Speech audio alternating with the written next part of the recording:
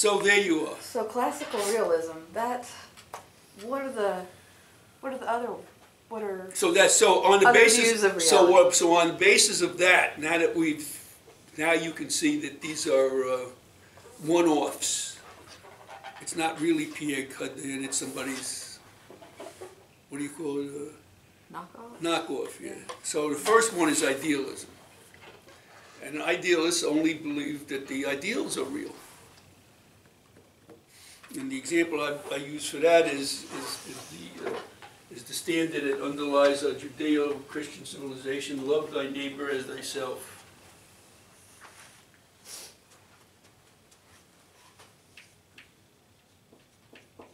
So all of these are knockoffs from classical realism.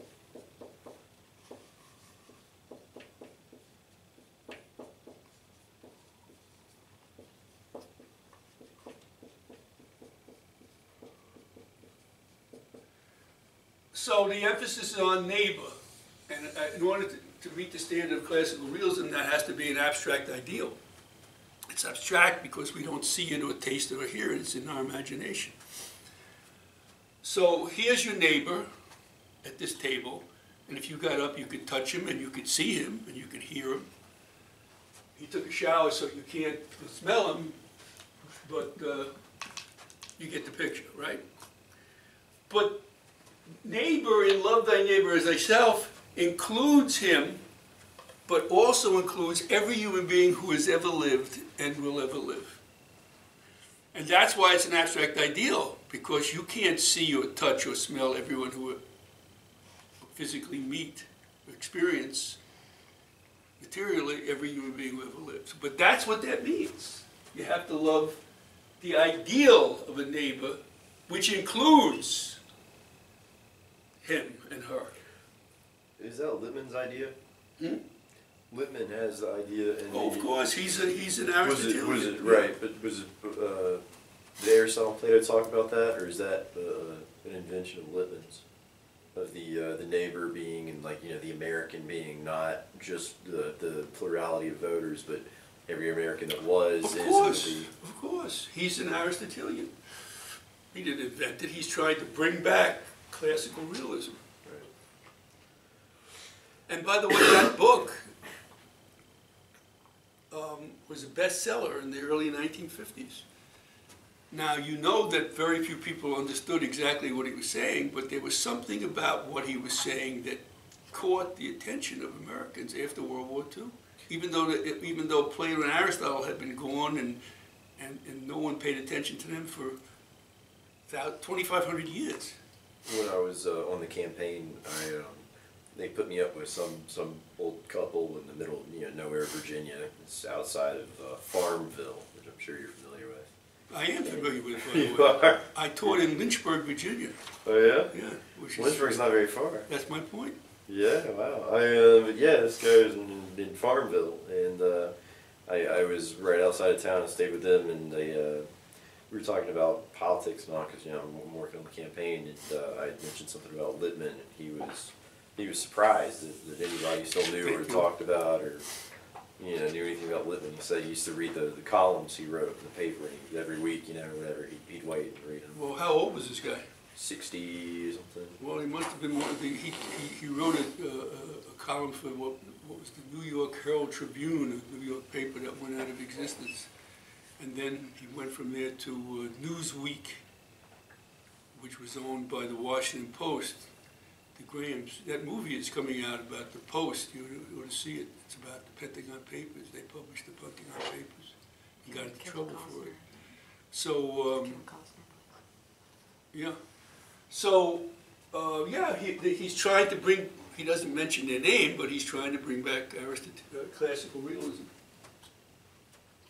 So you have to love the abstract ideal, but not to the exclusion of your material self. Not to the exclusion of your material self.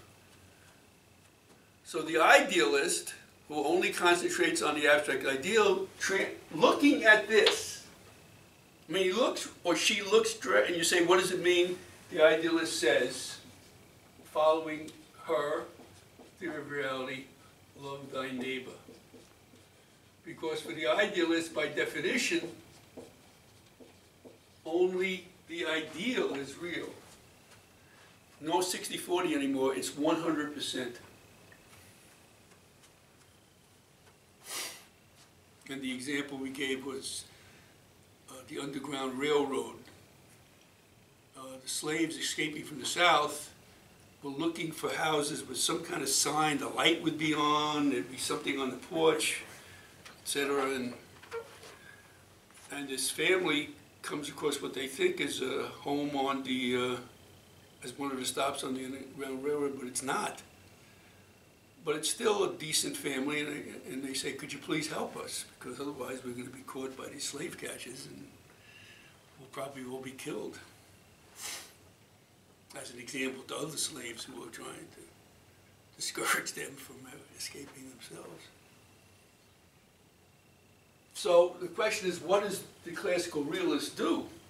Well, if they're caught helping an escaped slave, they'll be killed too. Not only will the man who answered the door, but his wife and his children suffer terribly at the hands of these uh, bigots. So, using this standard, they say something like this. You have to understand, we like to help you, but you have to understand my position, you know. We'll suffer terribly if it's discovered. So this is what we'll do. We'll feed you, and we're gonna let you stay in the barn. You can get under the hay, it'll be warm underneath there. But you have to promise up before the sun comes up, you gotta leave. We'll do everything we can to help you, but we can't commit suicide in the process, because that's what we'd be doing. That's what Love Thy Neighbor is. You, other words, you emphasize the idea, you have to help these people as best as you can, as you can.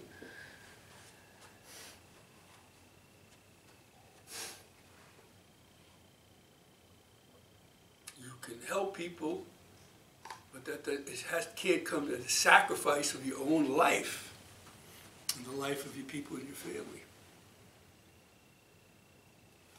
But for the idealist, you, your existence and your well-being and the well-being of your children are, are, meaning, are literally meaningless because they're not real compared to these escaped slaves who are their neighbors. Because the neighbor is an abstraction that includes everybody. So by the next morning, the slave catchers find them in a, in, in a, in a, in a bedroom in their house. They killed the slaves and killed the family, then that's the result. Nobody benefits. Why? Because this is not real. This is not a real way of living. It appears to be, but it's not.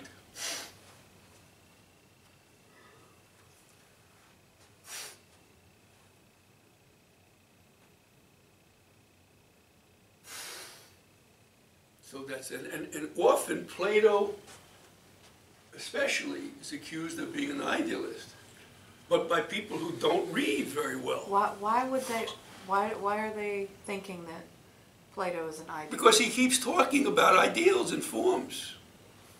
That's why. What about, what about, um, Well, but, but, but I want to make sure she No, understands. no, no, I Yeah, he- understand, because yeah. he, and, and it's. But you have to read carefully. It's, it's right there. I mean, I didn't make that up. You can see it yourself. You have the book at home. Go to page one fifty-three and see. Yeah, he says it's never actually going to, this, this ideal is never going to be a reality. It's- Because, in the answer to someone's question, I- you know, if this can't be a reality, then why are you wasting our time? Who cares? And he says, because it serves as a standard to strive for. So where we're, yeah, where we're trying And depending on the history of the place you're in, it will determine how far you could get towards this ideal. So it's just a shallow understanding of. Well, I mean, it's not, it's not a sh it's just the people who don't read very well. It's not, it's, it's, it's, it's worse than a shallow understanding. You know, when you read, you, you read what you want to read, right? I mean, uh, just like the idealist reads, love thy neighbor as thyself, but in his mind, it's really just love thy neighbor. It's not a shallow understanding of that, it's just a complete misinterpretation. Okay, They don't have cataracts, they can see very well. But their theory of reality, which is at the heart of our being, causes them to interpret it this way. Just like you would take money and, and, and buy your kids uh, clothes or pay for her education. And someone else with the same amount of money would buy new tires and rims for their car. And their kids would just have to be cold on a wintry night. So the balance is again important. Exactly. It's all about balance. Yep. now what about people who are martyrs? Well, that's who they are. And what was the name that Niebuhr gave to these people? Children of light. Yeah. And he called them sentimentalists. Remember that term? Right, yeah. Sentimentalists, exactly. But now a lot of people see Plato as a martyr.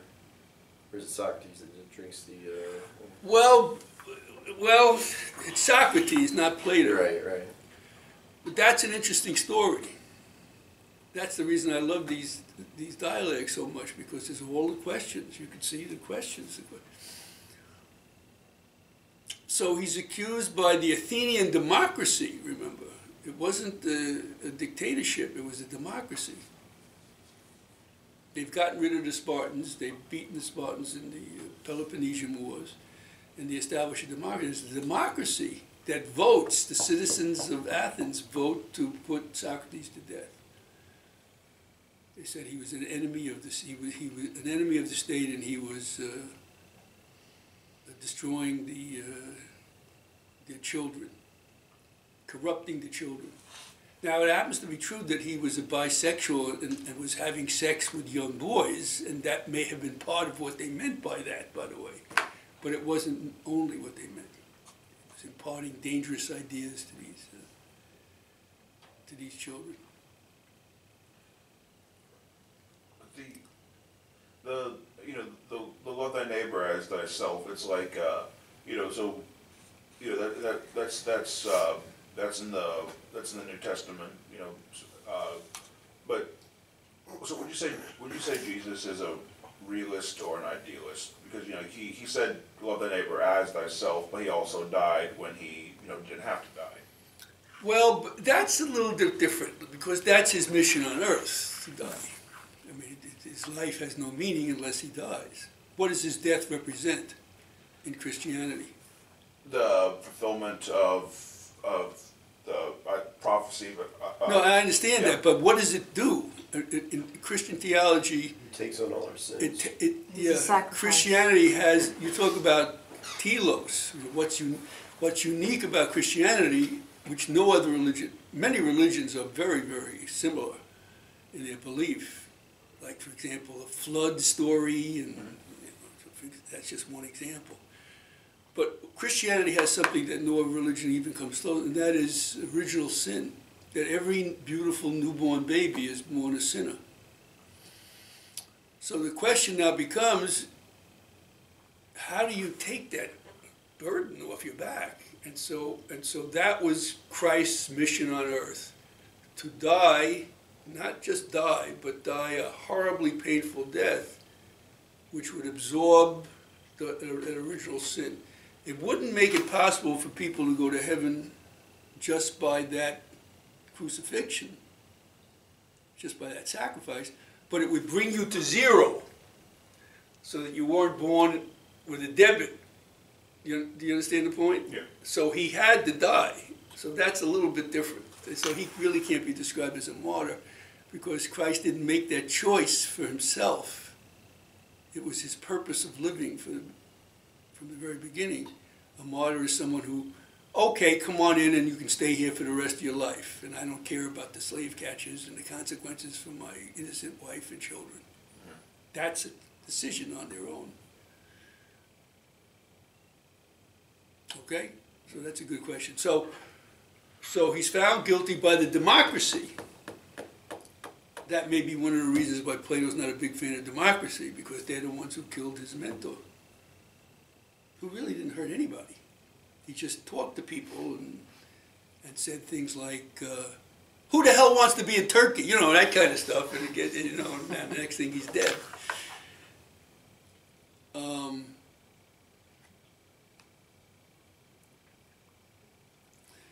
But the Athenians don't want to create a martyr out of Socrates. So they tell him on such and such day and such and such time, the jailer will kind of like go out for lunch and you can escape, just make sure you get the hell out of the country because they don't want to create a martyr among him. They want him gone. They don't want him spreading these dangerous ideas. What is justice and what is reality and, you know. But he refuses to, to, to, uh, to do that. Now, the question becomes, is he a martyr?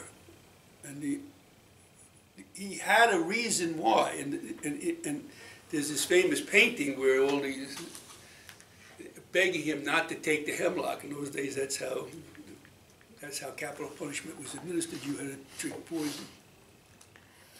And he explains to these people, he said, um, didn't I teach you that the abstraction is, is more real than the material representation? He said, yeah. He said, well, in that case, my physical body isn't as important as the, as the, as the ideals I'm trying to teach you. Not the, I didn't say that right, not the ideals, but the importance of ideals, the idea that ideals are important. Because most people only see material, the material world. So they say, yeah. He says, well, even though I, my body's going to die now, my ideals won't. My teaching won't. So I'm all right with that.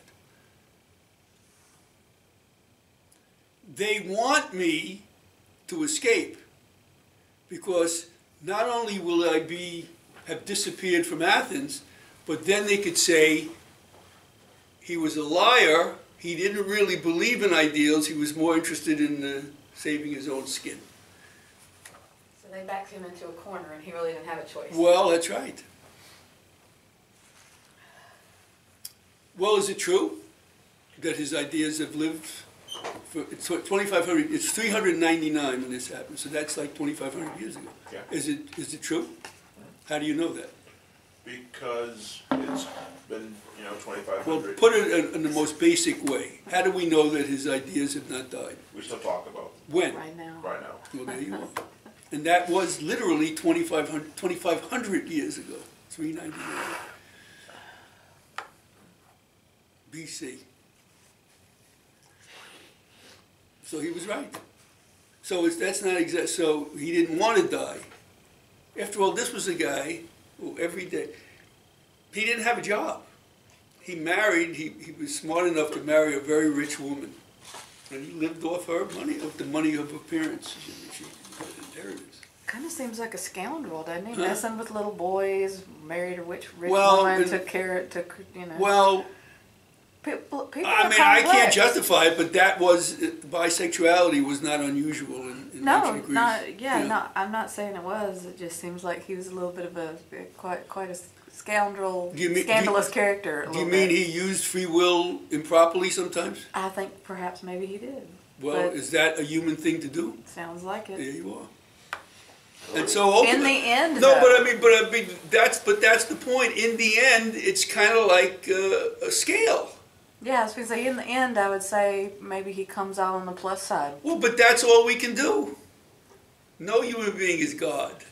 We'll all use our free will improperly, and so the it's, but it's not just one action.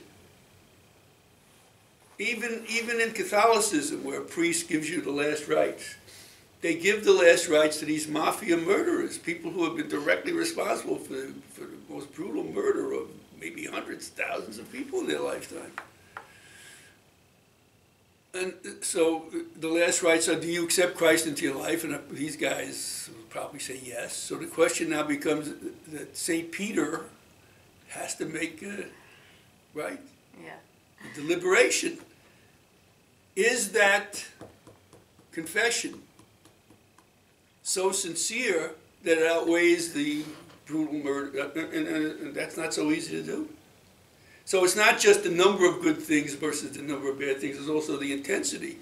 And that's the, what it works, because no human being can be all good and can be all bad. Only the devil is all bad, and only God is all good in, in this tradition. And human beings are somewhere in between.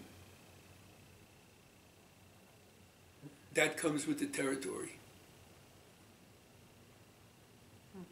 That comes with the territory. Questions. And the next knockoff from this is the materialists. Plato and Aristotle are very suspicious of, of the, of, of uh, materialists. Um, no, I'm sorry, the next knockoff are the cynics who say, um, love thyself. The cynics are, are materialists too. The though. cynics are the materialists, because your body is the most material thing about you. I mean, you know, yeah, I want to make, I wanted to make sure I got the progression right. So the cynics are the materialists, because they, they care only about themselves. So, in our example, the um, escaping slaves coming across the wrong house present themselves to the cynical uh, father. And what does he do? Captures them and tries to sell them back. He sells them to the slave catchers. He gets a reward for selling them back. He, he, he makes pretend he's going to take care of them, contacts the slave catchers and gets a reward for returning them. Because for him, God's commandment to us through his eyes of materialism or cynicism is love thyself. You're acting in a real human way when you love thyself. Materialist, cynic, that's what they They're selfish people. Uh, like Donald Trump. What is Mueller going to find? Is it, what exactly is he going to find? Money As a result, huh? Money That's laundering. exactly right. You know that, don't you? Yeah? Bannon was talking about he um, one of the main people on Mueller's team they brought over from the Enron investigation. He said, you know, but Bannon was talking about, you know, it's it's clear that that's what they're after, and that's that's what he built his team around was finding money laundering. So, so he's doing business with these uh, Russian oligarchs. What does he want from the Russian oligarchs? Money. Loans. Yeah. Bec- Because he's gone out of business how many dozens of times? I mean, he must owe people not millions, but billion, uh, literally billions of dollars. So he Sure. wants money from these Russians. That's the collusion between him and the Russians. So now, how do the Russians give him billions of dollars? Well, they can't like Buy up his properties. no, no, no, no. They launder the money, and we even know, at, even at this point, where they where what's the um, intermediary for the money? It's the Deutsche Bank. You know how money laundering works, don't you?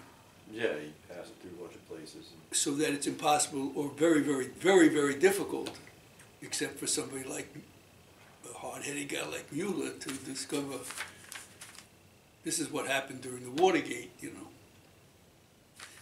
Nixon gave all this money to the, to, to those guys who broke into the Democratic headquarters, but laundered it through dozens of places. So this Deutsche Bank apparently is the place where they uh, the money. So now Mueller has to find that source.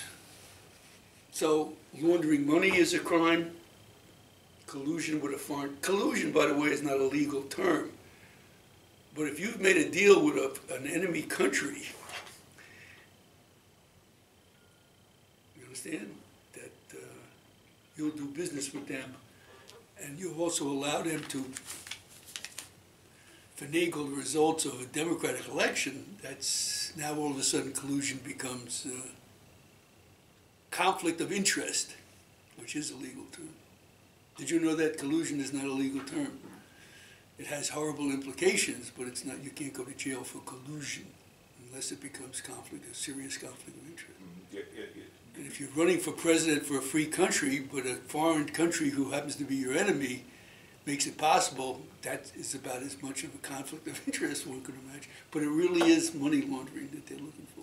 You get, uh, into quid pro quo is where you get into trouble. Exactly. That's exactly, that's exactly does, what what does that mean? It Something means you give something. something for something back. Okay. You scratch my back, I'll scratch yours. That's what it means in Latin. Now, every morning, there's a, a talk show where this, this very intelligent young woman by the name of Ruhle. Have you seen it, R-U-H-L? Oh, wait, And no. there's an Indian, well, it's, uh, it's like at eight o'clock, nine o'clock. An Indian guy in Ruhle, so Velshi and Ruhle, something like that. And she's on top of all this. And the reason is because before she became a TV personality, she was an executive at the Deutsche Bank. So even though she didn't have access to this particular dealing between her bank and Trump, she knows how they operate. So that's where we're getting all of this insight from her, even though she's not privy to exactly what's going on in the Mueller investigation. Now, I will say this, and I know Mueller is going to listen to this, that they better speed this up. I know he wants to do this properly, but if this keeps going on, the American people are going to lose interest and patience with this investigation. So they better find a compromise between a prudential, realistic compromise between getting this hundred and ten percent right, but also revealing this to the American, you know, the American people just have a kind of, how long do we have uh, patience for? It's like a minute and a half, right? I think, I think we're, go- I think they're gonna find, um, interesting stuff with, um, um, the, the son-in-law. Um, I because think like you're his, right. his father was a, his father was a crook. uh, Tax, he- he- tax finagler, yeah. Yeah, and I've read, I've read how, uh,